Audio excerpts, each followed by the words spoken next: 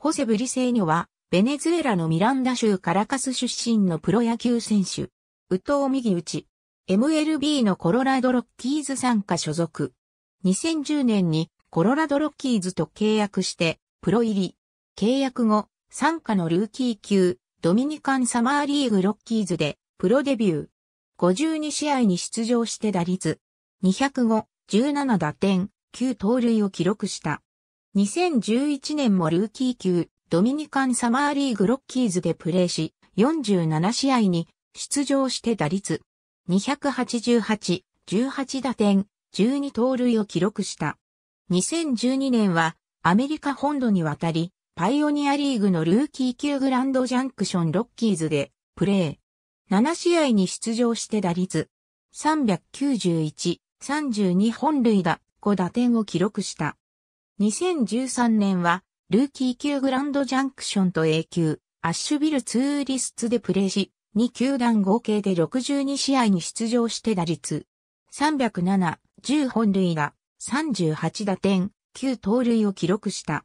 2014年は A 級アッシュビルでプレーし、84試合に出場して打率。283、12本塁打、50打点、8盗塁を記録した。2015年1月30日にデビッド・ヘール、ガスシュロッサーとのトレードでクリス・オダウドと共にコロラドロッキーズへ移籍した。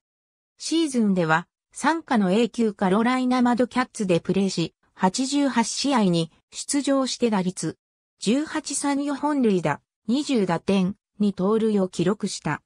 2015年11月12日にエリック・アイバー、ショーン・ニューカム、クリス・エリス・キンセントのトレードでアンドレルトン・シモンズと共にロサンゼルス・エンゼルスへ移籍した。2016年は参加の A 級インランドエンパイア66サーズ、A 級アーカンソートラベラーズ、トリプル A 級ソルトレークビーズでプレーし、3球団合計で98試合に出場して打率232、4本塁打、35打点、3盗塁を記録した。2017年は AA 級モービルベイベアーズとトリプル A 級ソルトレークでプレーし、2球団合計で95試合に出場して打率194、9本塁打、41打点、8盗塁を記録した。2018年は開幕をトリプル A 級ソルトレークで迎えた。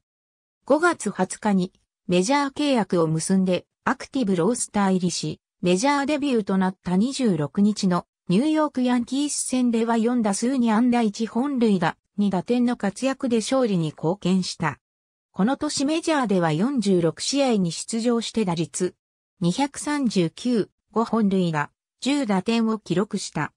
2019年8月10日に自由契約となったが、9月1日にマイナー契約で再契約した。2020年8月31日にメジャー契約を結んでアクティブロースター入りした。オフに FA となった。